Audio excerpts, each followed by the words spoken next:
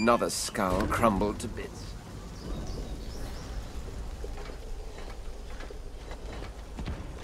Another skull crumbled to bits.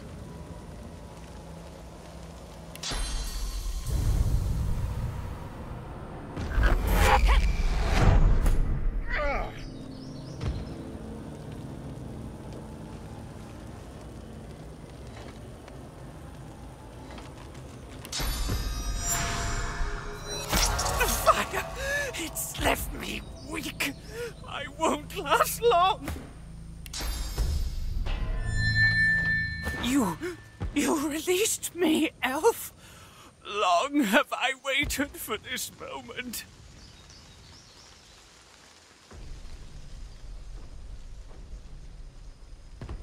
You're in the wrong place, then, I fear. This island's a cauldron of suffering, right through to the roots in the ground. You know of Braccus Rex, I assume? The figure nods grimly. Mm, he did terrible things while trying to master Source, bend it to his will. I had a part in this, I must admit. Perhaps I deserve the flames. No, no, I was a scholar, a librarian. Braccus sought the secrets of Source, but he had no patience for sifting through ancient scrolls and tablets.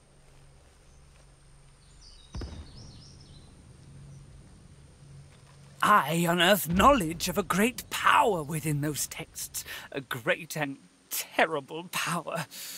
One that Braccus coveted above all. The figure's ruined flesh curls into a scowl. Long destroyed, surely. Braccus wanted no one to have that knowledge. He fed me to the flames so I'd keep my secret. He'd have no qualms about burning a few scrolls. The figure slowly shakes his head. I will not say. I spoke of it once and was damned to eternal hellfire for it. Were I to speak of it again, I could damn the whole world. Braccus must have failed. Had he not, the world as you know it would be gone. What I learned of could still be out there. I will not speak of it. I won't risk having another Braccus discovering it.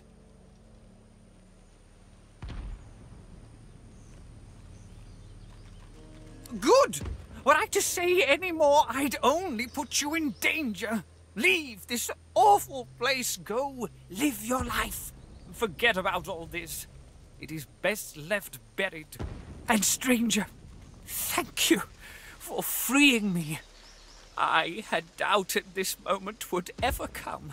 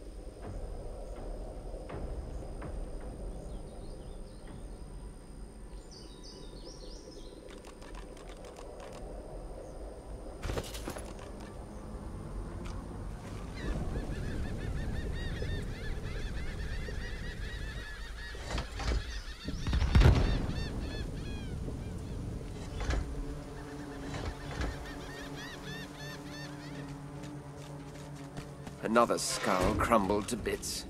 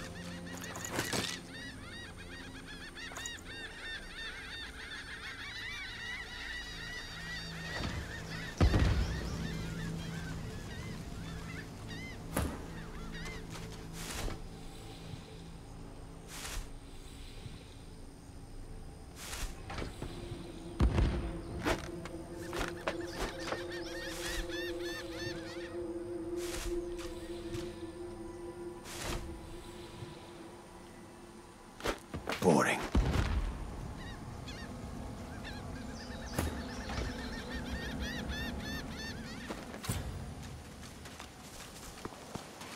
Stern eyes and a sterner face stare into your very soul. Under the inescapable gaze, you begin to shiver uncontrollably. Another crawling rat, tracking your stinking paws beneath my nose. Vermin are not tolerated in my house. Begone! Do not doubt my power. I merely wish you gone. You are gone. Begone!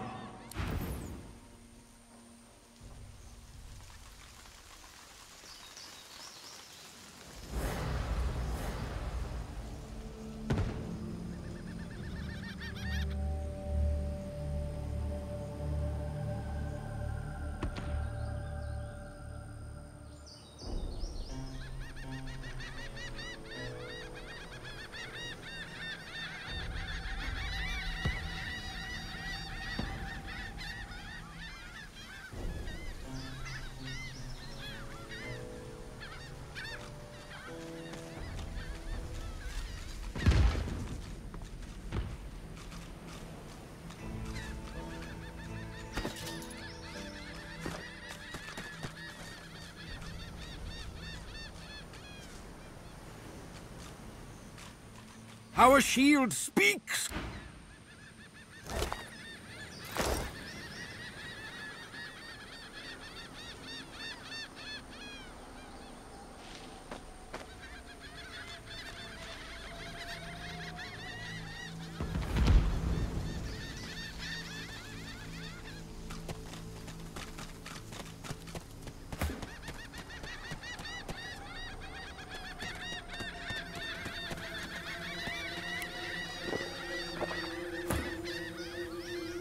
Speak if you wish to.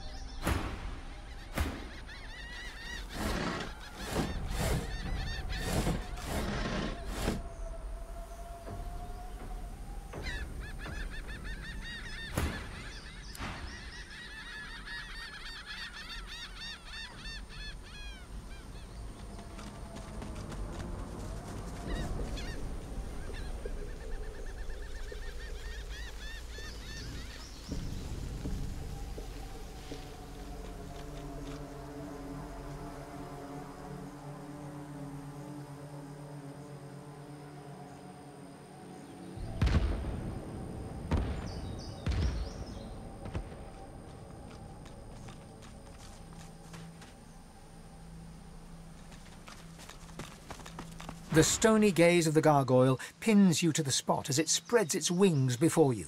You. You have earned your reward.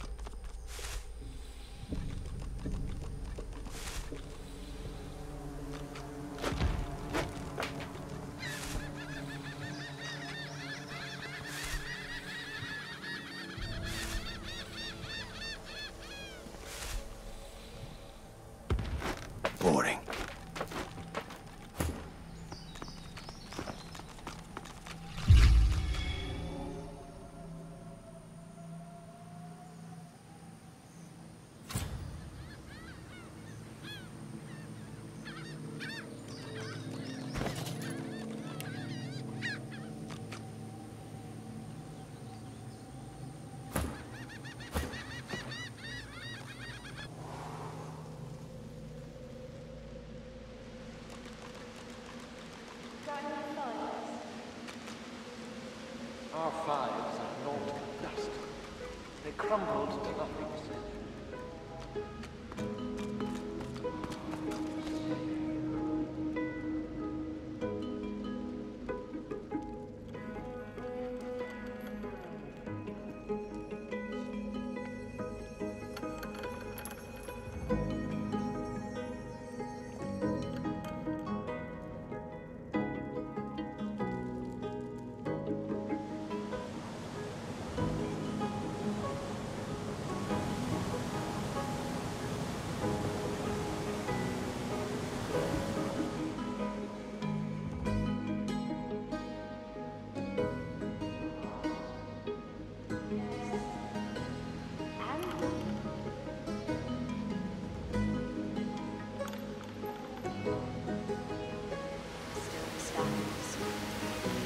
need not wonder.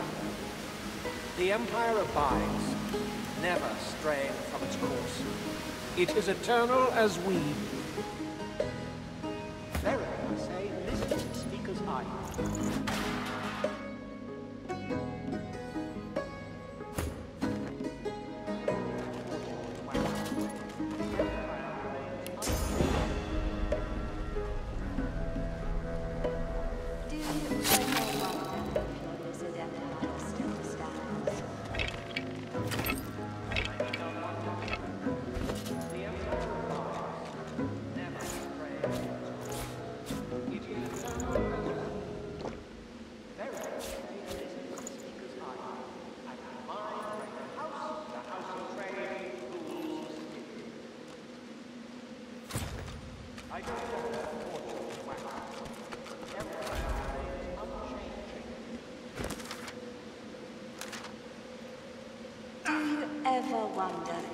If lizard empire still stands?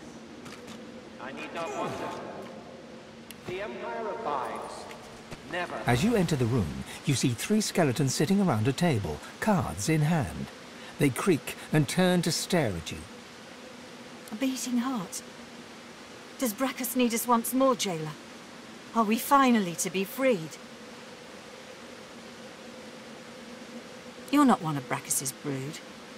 You're not Gratiana's pet. Then why do you disturb us? The flesh yearns for our secrets. Did I not say that word would spread of our genius? Even after the maggots took your tongue, you still talk too much. Silence your jaw.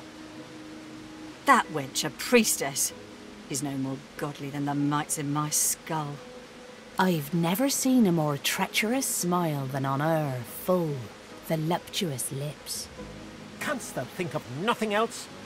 How many centuries have I endured hearing you remember your conquests? Hey, at least I didn't have to raise mine. That was naught but a whisper on the wind. A vile rumour. Oh, it coughs. I will not sit by as it breathes thus. It mocks us with the very air passing twixt its lips. The shambling creatures lay down their cards and push back their chairs. Indeed, but we'll soon put an end to that. And then, freedom. For 1,000 years, I've had to listen to prattle. No, it's time to act.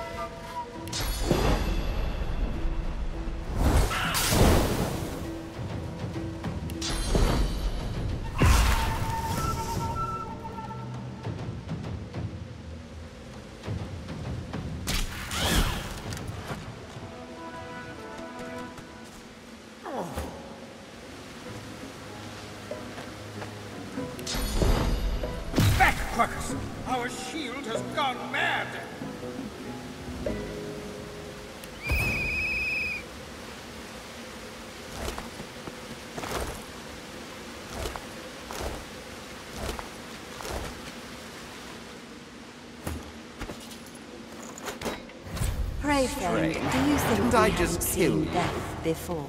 Hang on, I've killed you twice now. Three times makes the charm. Canst thou not see? The soul jars bind us here. You can grind our bones to bread, but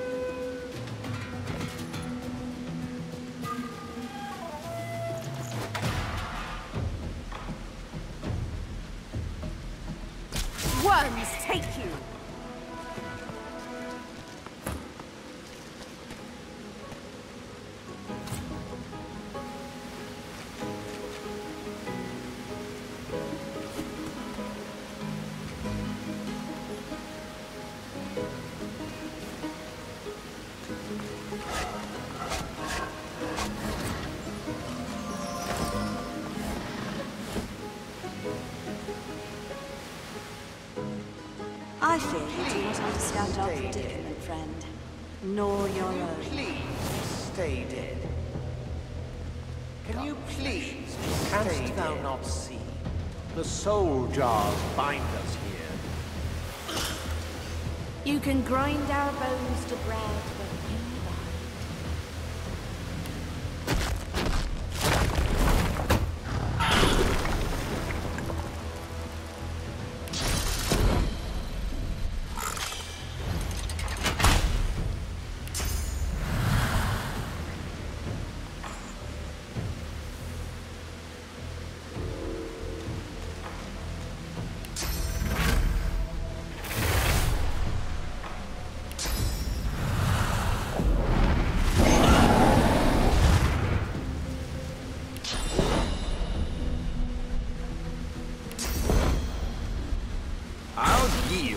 to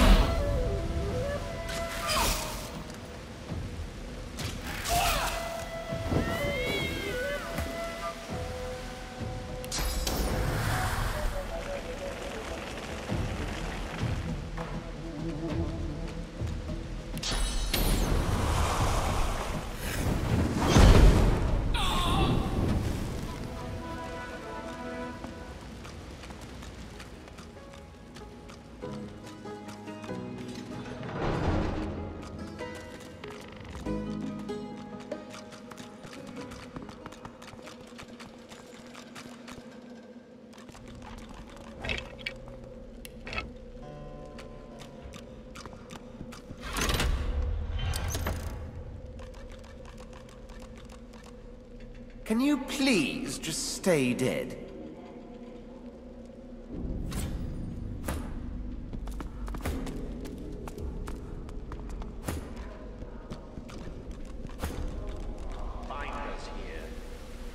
You can grind our bones to bread, but we'll abide.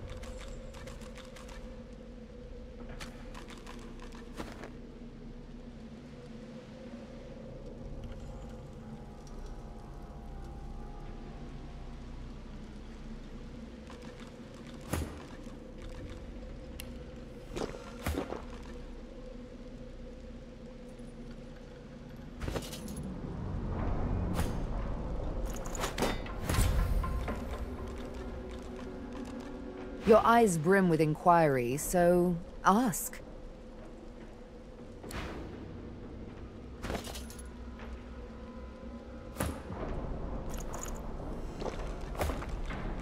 Your eyes brim with inquiry, so ask.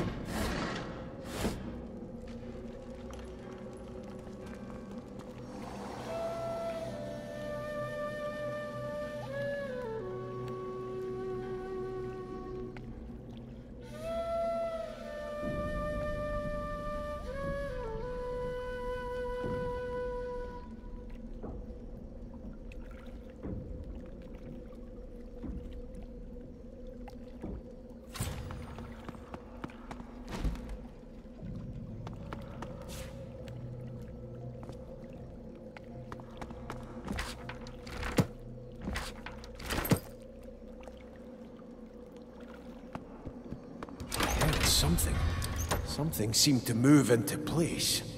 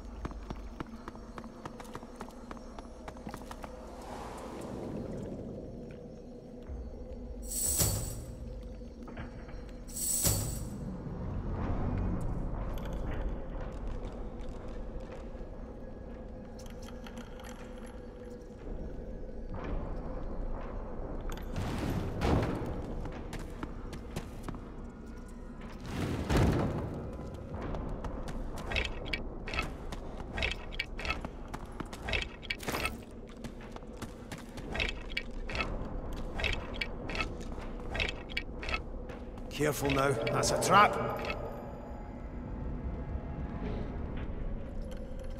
Careful, I've spotted a trap.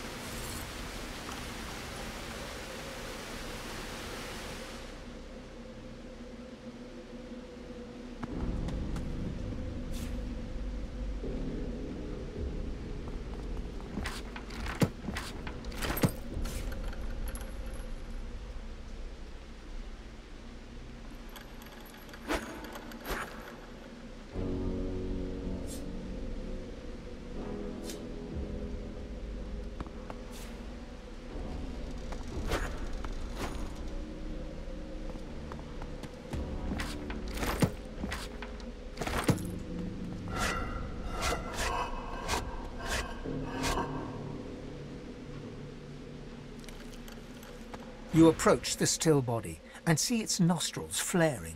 Long dead eyes rise to meet yours.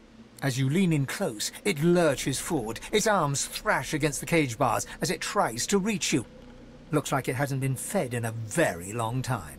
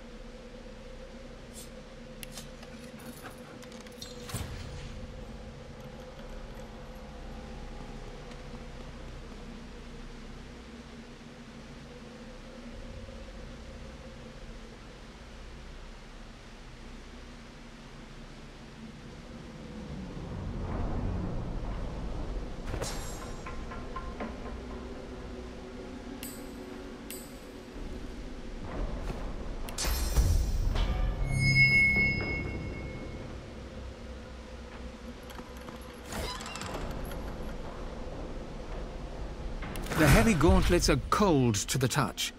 A prickle travels up the back of your neck, warning that you're being watched. Flickers of memory fill your mind. You long for solitude. The subtle scent of parchment wrinkles your nose. Fresh ink stains your fingertips. The memory vanishes, burned away by heat. Ash falls from the sky as a growling whisper addresses you. I see you. And inside you is the strength I've been looking for. You must find that place of longing in the home of a young scholar. I will draw strength from there to speak again. As the heat around you fades, the desperate memory returns. It claws at you, trying to take hold, then slips away completely.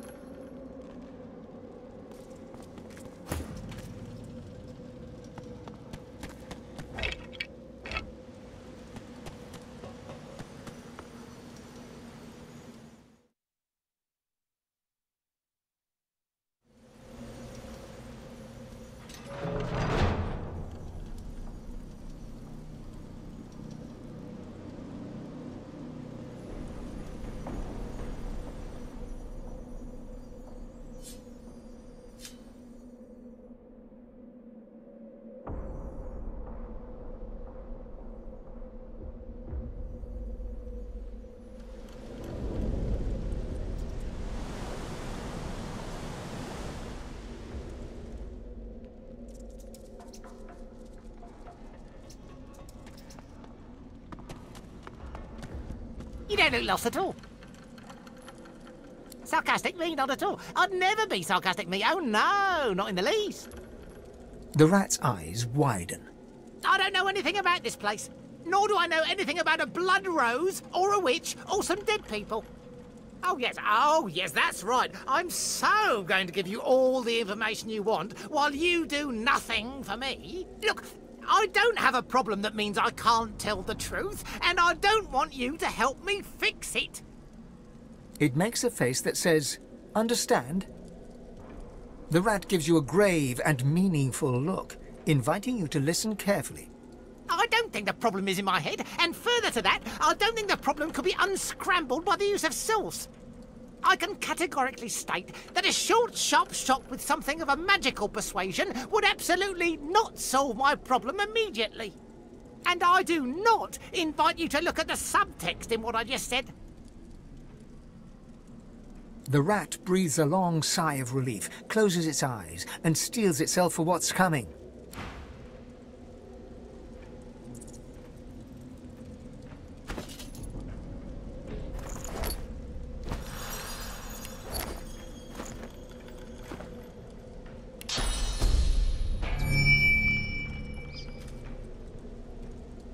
Dead? I suspect that's what it wanted all along.